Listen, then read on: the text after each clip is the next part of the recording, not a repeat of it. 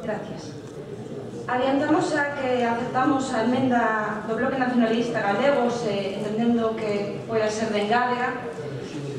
Eh, no caso da emenda do PSDG, si aceptan eh, na emenda en coche de que eh, no tocante de 2013 poña 2016, xa que os plans eh, o, os plans de obxectivo dura ata 2016 e, polo tanto... Silencio, por favor, senón non nos contamos a señora Sonia coas segundas.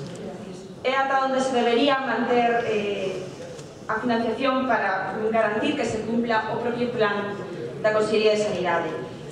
Non podemos aceptar a emenda do Partido Popular porque non se acaba de comprometer, a pesares de que din que están preocupados, sustituir eh, o que di a nosa proposición de manter a totalidade das axudas por buscar fórmulas Polo tanto, é comprometerse, non comprometerse a nada, quer dicir, unha cousa abstrata, buscar fórmulas pode ser buscalas e non atopalas.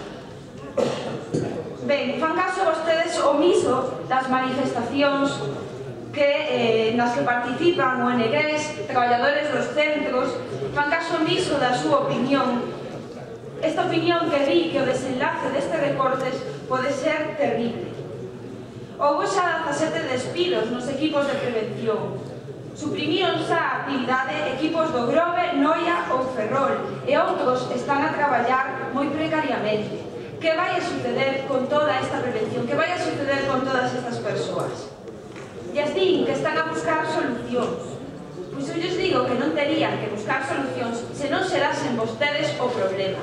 Se non recortasen, se non eliminasen o financiamento para a prevención, non terían que estar a buscar solucións porque eliminan vostede o financiamento para un plan que vostedes mesmos crearon.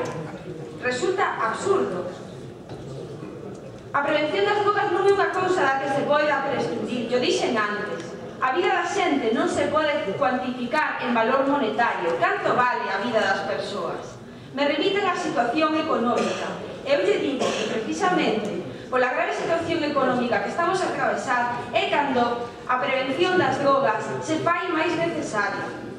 Falan de asustes como eufemismos de recortes e de desprotección social.